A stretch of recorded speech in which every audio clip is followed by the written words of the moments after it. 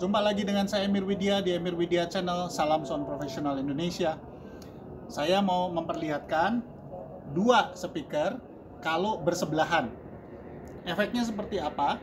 Karena saya melihat banyak orang yang masih membuat speaker uh, line array dengan corong biasa. Efeknya seperti apa? Ini kalau kita hidupkan satu buah, ya, ini saya hidupkan satu buah.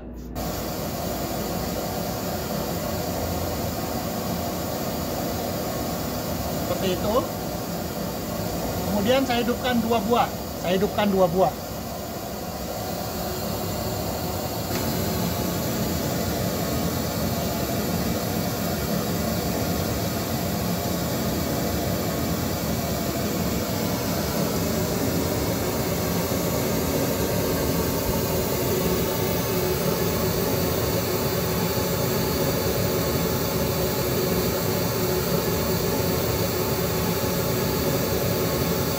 Biarin, nggak usah nyorot saya, Ri. Ah, eh. Pemirsa bisa perhatikan, waktu saya hidupkan dua buah, justru bagian ini malah hilang. Ya, padahal sebelumnya ini ada. Ini hilang, terus banyak sekali jurang-jurang ini. Kalau di ilmu sound system ini disebutnya cancelling uh, yang terjadi antara frekuensi yang dekat dan itu namanya comb filter atau efek sisir. Wah, Arya ada telepon lagi. Eh, cabut dulu, Ri. Ya. Jadi jadi ini akibat dari dua buah speaker yang berdekatan. Oke. Saya akan uh, manfaatkan sudutnya. Mikrofon tidak saya rubah. Tadi mungkin harus kasih lihat dulu bahwa ini twitternya bersebelahan woofernya juga bersebelahan.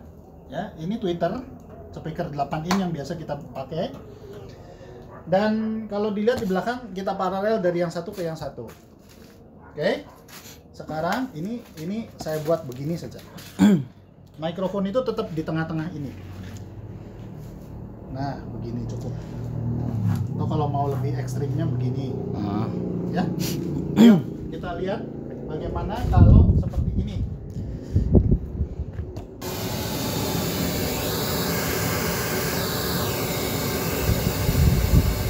ya praktis ini lebih ada tidak seperti sebelumnya. Oke ini saya pencet auto SM dulu. Ya gangguannya tidak separah yang sebelumnya. Ya, ini ini hampir selevel walaupun ada sedikit sedikit di sini. Baik saya rekam.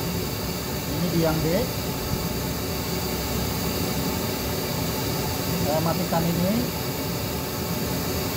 Nah ya ini sedikit ini sedikit ini nambah. Ada satu cara lagi. Bagaimana kalau ini tetap seperti ini? Ini dulu. Saya menggunakan cara ini. Jadi posisinya dibalik. Twitternya di bawah. Jadi saya balik yang atas ke bawah. Twitternya ada di bawah kemudian 8 inchnya sebelah bersebelahan dengan Twitter. Tapi ini lurus. Kita lihat.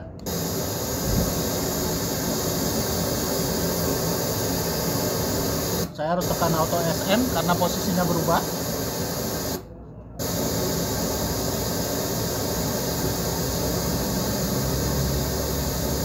Oh sekali lagi.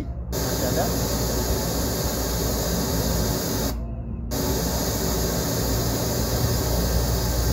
Nah, ternyata memang tidak bisa dan dia tetap seperti itu.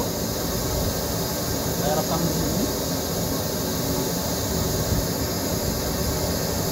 Pemirsa bisa perhatikan bahwa ini dia ada cancelling di sini dan di sini. Bagaimana kalau seperti ini tapi kita buka? Ya, kalau pemirsa perhatikan ini ada dudukan tiang di sini, berarti ini ini adalah 8 inch dan itu seperti itu. Oke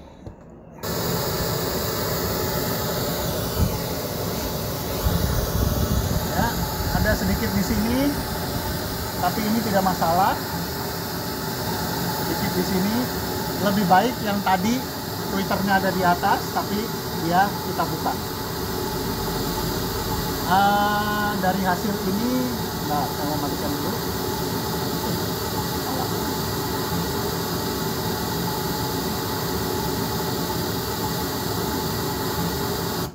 Dari hasil ini saya mau simpulkan cara berbagai macam cara untuk kita menghindari saling bunuh diri antara Twitter.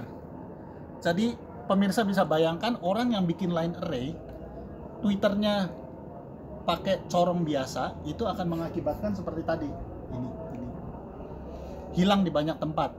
Jadi kita harus pakai corong line array yang benar ya. Pertama itu. Kedua, dengan speaker seperti ini pun bersebelahan kita bisa saling menghilangkan. Bisa boxnya dibalik bisa boxnya dibuka supaya si Twitter itu tidak saling menghilangkan. Demikian pemirsa. Terima kasih sudah menyaksikan. Sampai jumpa kembali. Salam sound profesional Indonesia